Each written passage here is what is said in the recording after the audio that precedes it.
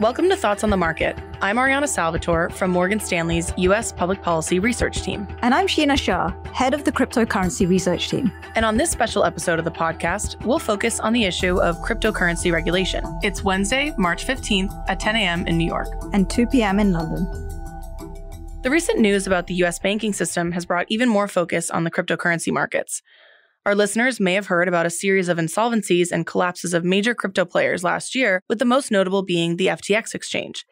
These events have raised concerns among policymakers and are signaling a need to regulate cryptocurrencies as a means of protecting investors. Sheena, before we dig into any potential regulatory path for crypto from here, I think it's important to try to get a grip on a question that might seem basic, but in fact is one that policymakers have actually been grappling with for quite some time. And that is what is a cryptocurrency from a regulatory perspective? Is it a security? Is it a commodity? How should it be classified from a regulatory perspective? So, cryptos could be classified as many things securities, commodities, currencies, or even something else. But the US regulators are making their view very clear. The SEC is saying every crypto apart from Bitcoin is a security. The definition will determine what products can be offered, which companies can offer them, which regulator will be in charge, and maybe even how transactions are taxed. There is agreement that Bitcoin should be classified as a commodity, partly due to its decentralized nature, and no regulator is classifying Bitcoin as a currency, as this would admit that it's a direct competitor with the US dollar. Got it. So, taking a step back for a second, cryptocurrencies up until this point have been largely unregulated, and volatility is obviously nothing new in this space. What has been happening in crypto markets lately that's just now suggesting a need for regulation? Well, last year, crypto prices were in a bear market, and the collapse of the FTX exchange just increased the politician interest in this area. Trading data tell us that the average US retail investor purchased crypto when Bitcoin was trading above $40,000, around double the current price. So, regulators want to make sure that retail investors understand the risks and to limit the volatility spillover from crypto to the traditional financial system. Now that we know why there's a need for regulation, what do you think the core principles would be behind a potential regulatory framework? So, when we think about the way that Congress approaches the crypto space, there are really two key principles. The first is restrictiveness, or how much lawmakers want to rein in the space. And this we kind of see as a spectrum, so ranging from status quo or continuation of regulation by enforcement to a scenario that we're calling comprehensive crypto crackdown. And that would be probably the most severe outcome from our perspective. The second principle is pretty binary. So, whether or not Congress is able to delegate authority or control over the crypto space to one agency or another. One thing I'll just mention back on that restrictiveness idea it's not necessarily a question of just how much Congress wants to rein in the space. It's arguably even more so a function of what's possible in a legislative sense. Remember, the Republican Party controls the House of Representatives, so there are some structural constraints here that might make any regulatory efforts a little bit lighter touch than what you could expect in a unified government scenario or single party control. So there are lots of opinions on crypto regulation. What do you think is a viable eventual scenario for some regulatory framework? When we think about what's possible, like you said, there's a range of outcomes, but our base case is what we're calling scoping in stablecoins. So in this scenario, Congress does in fact deliver a clear delegation of authority to either the SEC or the CFTC, effectively answering that question of mapping out control. And it also puts into place some baseline consumer focused protections.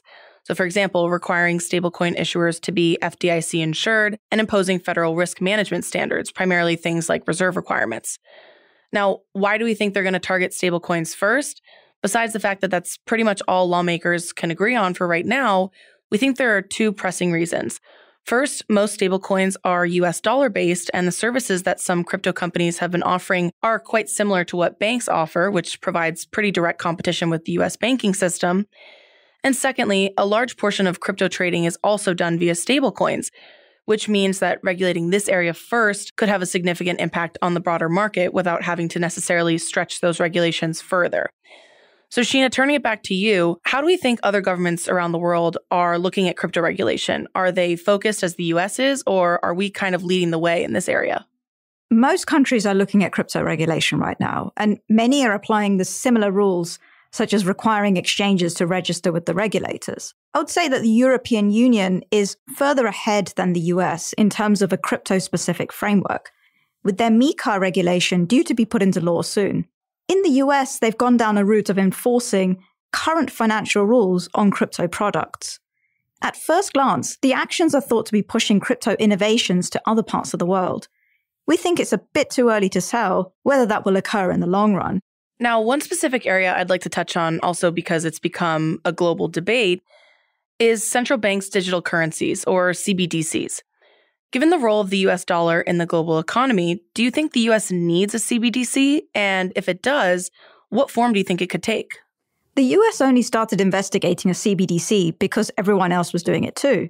Most notably China and the Eurozone. The US doesn't actually necessarily need a CBDC for domestic payments, as instantaneous bank settlements are going to be possible through FedNow being introduced later this year.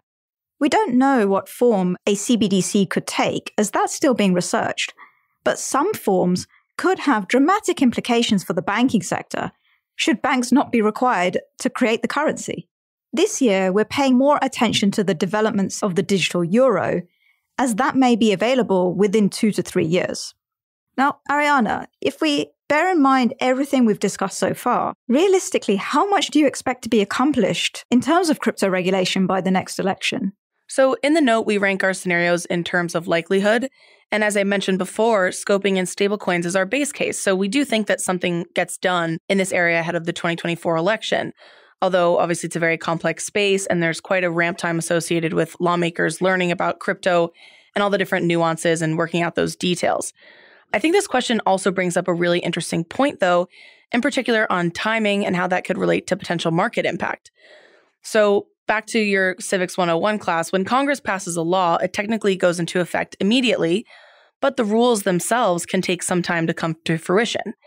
If the legislation directs federal agencies to come up with regulatory parameters within a certain time frame, that time frame can vary. It can be years, but sometimes it can be months following the legislation. So that is to say that although right now we're seeing significant legislative discussion underway, it's possible that markets have some time to digest the impact as these rules are introduced and developed and fine tuned and then eventually come into effect. We think that delay could create a ramp period for companies to make adjustments to become compliant with some of the new rules, which we think could overall, in the longer term, soften the blow of regulation and mitigate the shock to markets. So, Sheena, last question for you. Given all of this, what key events or catalysts should investors be paying particular attention to in the coming months? Broad investor focus is clearly on the traditional banking sector. For crypto, we watch to see if there are any further announcements related to these recent coordinated actions from regulators, aiming to define crypto products and any that could reduce the on ramps between the fiat world and the crypto world. Got it. That makes sense. So, this is a continuously evolving space with a lot of potential new developments along the way, and we'll be sure to keep an eye on it as it evolves. Sheena, thanks so much for taking the time to talk. Great speaking with you, Ariana. And thanks for listening. If you enjoy Thoughts on the Market, please leave us a review on Apple Podcasts and share the podcast with a friend or colleague today. The preceding content is informational only and based on information available when created. It is not an offer or solicitation, nor is it tax or legal advice. It does not consider your financial circumstances and objectives and may not be suitable for you.